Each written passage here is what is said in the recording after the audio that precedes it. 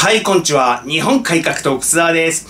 山根様、カルフール様、チカこと玉様、ご支援ありがとうございました。何度もご支援いただき、誠に誠にありがとうございます。ありがたく頂戴して政治活動資金にさせていただきたいと思います。10月1日開催の外国人実習制度廃止デモの申請で、えー、警視庁に、行ってまいりました。今日手続き済ましたので、えー、今日から正式に告知開始ですね。手続き済んでないうちに、あの呼びかけしてますと、オープンで呼びかけ、まあメルトインの方にはもうあの告知してるんですけど、オープンで、あの告知しちゃうと怒られるもんですから、なんかあの、写真の写り方で、足長く写ってますけれども、加工してませんからね。加工しただ。なんて、えー、いう声が、あお声があったんですけれども、えー、デモの詳細は動画の下のもっと見るのクリックして、え、ご覧ください。毎年数千人の実習生が失踪し、そのまま不法滞在者にジョブチェンジ実習制度だけで不法滞在者を毎年毎年数千人増やしていやがる。不法滞在者は累計24万人もおってですね、これは全国の警察官や自衛官とほぼ同数である。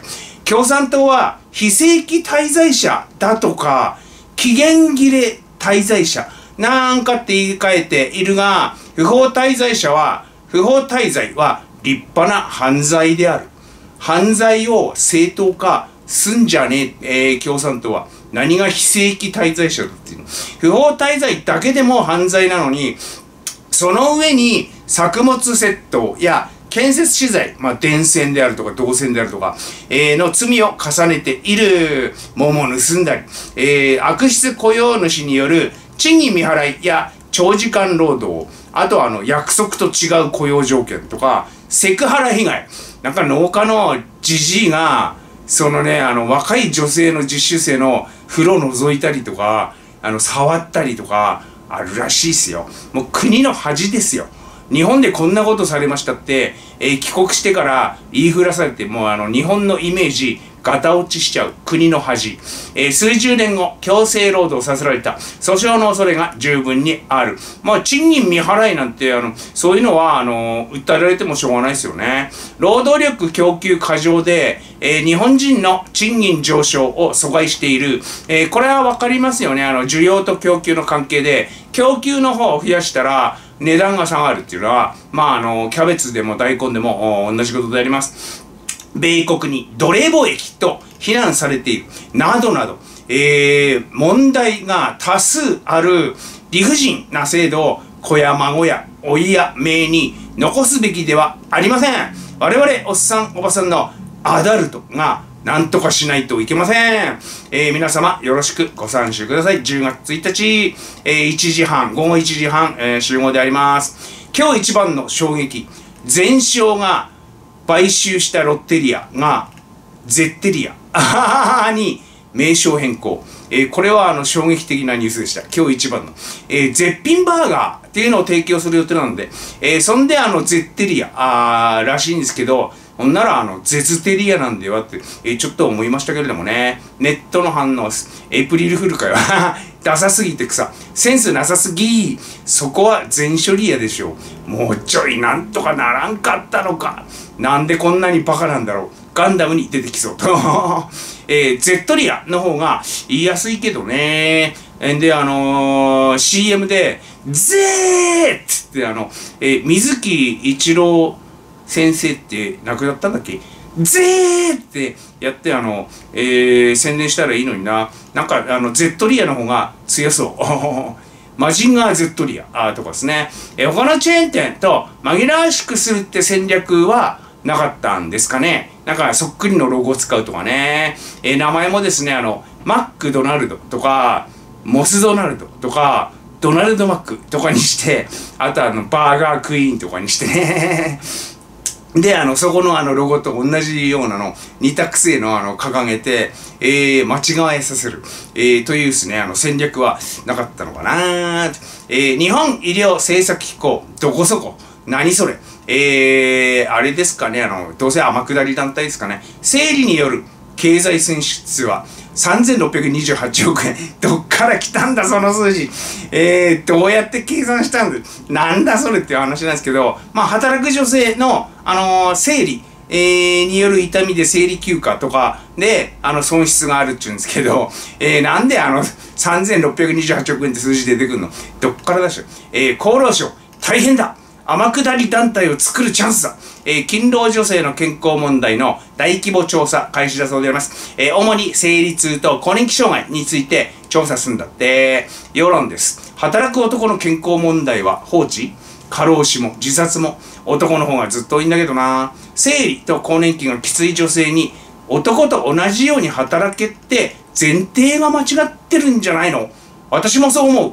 前提が間違ってんじゃねえの？あの、そんなさ、またつまらん調査名目で天下り団体作るのか、働く男性は勝手にしんどけってとこか、ことか。えー、今回は女性にしかない生理とですね、男もあるっちゃあるんですけれども、えー、女性とは、あのー、比べ物にならない、えー、軽い男のあの、更年期障害は、えー、女性の方が圧倒的にきつい、えー、なんかのぼせたり、顔カーってなったり、えー、物忘れ激しくなったりすんだって、あとはあの骨折するとあの治りにくくなるとかですね。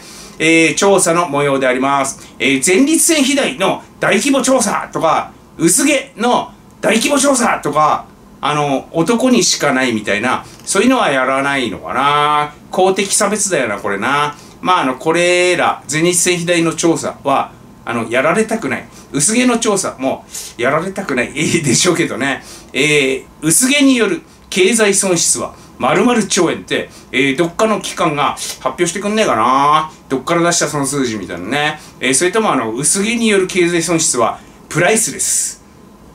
とか言って、あのー、ドヤ顔決めんだが、省庁主導で何かやらって時はですね、目的は3つあって、1つ目はあの、天下り団体作るためで、2つ目が天下り団体作るため。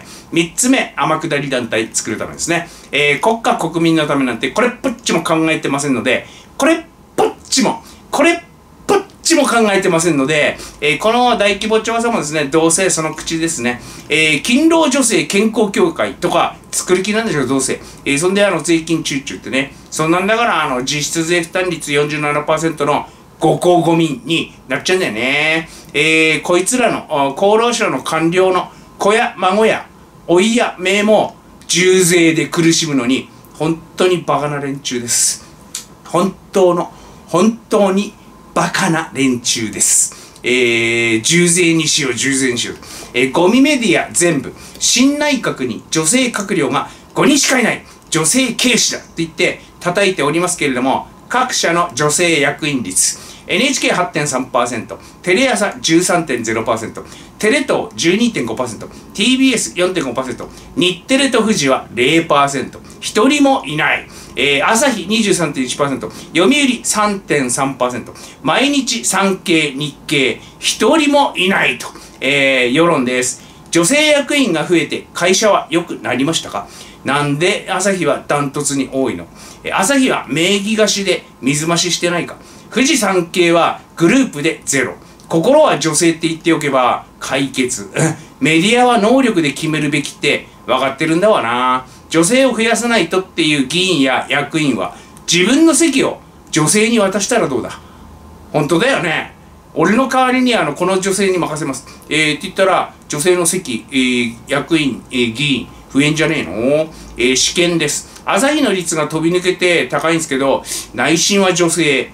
マジでやってない本当？これ。えー、環境は大事と言いつつ、紙の新聞で環境破壊。学歴差別ガーと言いつつ、自分とこは大卒しか雇用しない。えー、格差が庶民の生活がーと言いつつ、どこより高級と。えー、ゴミメディアってそんなもんですね。だからゴミって言われるんですけどね。えー、俺が言う綺麗事をお前らが実現しろえー、最悪はみんなこれであります。実践すんなら、あの、朝日が真っ先に自称難民を引き取るべきなんだよな。犬猫の保護団体さんですね。えー、つべに動画いっぱいあるそうなんですけれども、えー、大変そう。この人らは立派ですよね。自分の手を動かしてね。えー、朝日社員はあの自宅でですね、一人ずつ、えー、自称難民を養うべき。引き取るべき。まずはそれをやってからものを言えと。えー、朝日新聞8月の中国の日本産海産物輸入が67.6%減ったぞ。えー、なんか綺麗に、ものの見事に3分の2ですね。作った数字じゃねえかって驚くぐらい。えー、大変だなんかあの100億円が30億円になったみたいでありますけど、なんだ全然じゃないか。えー、大した額じゃねえんじゃねえ。えー、世論です。チャイナリスク。全然構わないけど、国内で回せばいいじゃん。これからは中国を外していかないと。まあ、経済圏から外していかないと、えー、台湾に絡んでやり合うかもしれないんで、いる、今からね、あの、外してブロック経済にしていかないとね、日本近海まで漁に来んねん100%減少でもいいぞ。禁輸したんだから当たり前だろう。えー、日本の魚食ってる33%は当局に逆らってるやつってこと、えー、売国度ですね、あの中国の。中国の売国度。えー、農水省によればですね、日本の海産物貿易は、あの、輸入がですね、年間1兆7400億円。今年はあの2兆円いくんじゃねえか、えー、なんて言われてますけれども、2873億円を輸出していると。結構輸入多いですね。えー、酒ますりが一番多くて、2218億円。えー、ノルウェー産とかロシア産とか見ますね。えー、次はカツオやマグロ。インドマグロ、おなんつうのもあのありますね。えー、1909億円。エビ、えー、これあのベトナムやらフィリピンから、えー、1828 8億円だそうであります。輸出金額2873億円のうち、中国と香港への輸出分が46.7%。これがまるっとなくなると。えー、まあ、香港ってあの、分けて考えなくてもいいですもんね、今はね。えー、中国共産党に支配されちゃいましたからね。えー、まあ、国内で食っちゃえばいいんじゃないの？えー、2873億円ぐらい国内で全部全部食っちゃって輸出する分ねえやってなっちゃえばいいんじゃないの？少し量を休んで資源回復したらホタテ漁の皆さん、えー、これは大変だってあの処理水放出をやめさせたいあの朝日新聞の思うつぼになっちゃうんでこれなのあの大したことね、えー、言ってください。ゼレンスキー大統領ウクライナが敗北すればロシアはポーランドやバルト三国に襲いかかる。世界はロシアを止めるか世界大戦を選ぶか選ばなければならないと。えー、試験なんですけど、まあ、だからもっと支援ちょうだいって言いたいんでしょうけれども、まあ、ウクライナが片付いたらですね、ポーランドじゃなくて、北海道に攻めてきそうなんだよね。もうすでに、アイヌはロシアの、ロシア系とか言い出してるし、アイヌはロシア人とか言い出してるし、えー、ポーランドとあのバルト三国はですね、実は1999年に NATO に加盟したんで、ここ攻めるとあの NATO が出てきますんで、ロシアにとっても強敵ですね。えー、日本はあのそうではない。NATO には加盟しない。日米同盟しかない。えー、アメリカ一国を相手に、日米軍相手にするのと、えー、アメリカ含む NATO 軍と、ポーランドとバルト三国、えー、NATO 軍全部か。全部出動してくんな。でないとあの安保のただ乗りって、言われちゃいますもんね。NATO 全部相手にするのどっちが楽かっていう話。現実見えないですね。あの、ロシア用語のバードモがスレッドで発狂してました。えー、こいつら頭おかしいよな。ウクライナに侵略される恐れは日本はないんですよ、全く。全然離れてるの。えー、ロシアは十分に攻めてくる恐れあんですよ、日本に。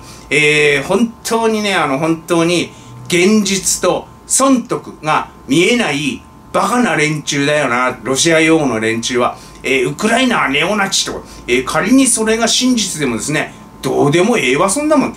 えー、ウクライナは隣国じゃねえし、敵対的でもねえし、ロシアと違ってですね、あの、我が国領土を不法占拠してないんだから。えー、日本人にとってあの、最大の利益はですね、ロシアがズタボロになって分裂してですね、えー、ウラジオストック国かなんかがですね、北方領土を返しますんで、カニとエビ買ってくださいって言ってくることが日本の最大の利益ですよ。つまりロシアがボロボロになること。えー、そのためにですね、あの、ウクライナが本当はね、邪悪だろうとなかろうと、どうでもいいわ。えー、善悪でなく損得で考える国益のためなら手段は選ばないっていうのは地政学の基本ですよ。えー、ただね、あのー、中国とか韓国ってバカだから、国益のためなら手段は選ばなくていいんだななんつってあの条約とか合意とか守んないと、えー、それであの信用なくしてあの損こいてるってね、えー、国家としてのあの、信用なくして、なんだ、むしろ国益になってないじゃん。えー、信用なくしてんじゃん。えー、っていうバカな国もありますけれども、まあまあ、あの、これらが地政学の基本ですよ。えー、ロシア擁護してんの、ほんとバカだなってあげれちゃいます。えー、まぶちさんっていうあの、元あの、大使かなんかの、えー、のー、あれなんでしょ言ってることソースなんでしょ元は。あとはあのー、何捏造したかどうかわかんない画像とかさ、えー、があの、元なんでしょウクライナが本当に本当に邪悪でも、ええやないか。日本と日本人にとっては。ロシアがズザボロに負けた方がいいじゃないか。なんでお前らよしロシアを擁護するんだ？えー、スパイがっていう、えー、鈴木宗男みたいなですね。まあそんなあの、ちょっと憤りを覚えております。ロシアを擁護する国族どもに、日本の利益のためにならない者どもに、ちょっとあの、怒っております。というわけで10月1日、あの、デモにご参加ください。えー、全然人数読めないな。初農大のデモだもんな。えー、何人ぐらい来てくれるのかな？盛り上がるといいななんて思っております。デトックスジャパン。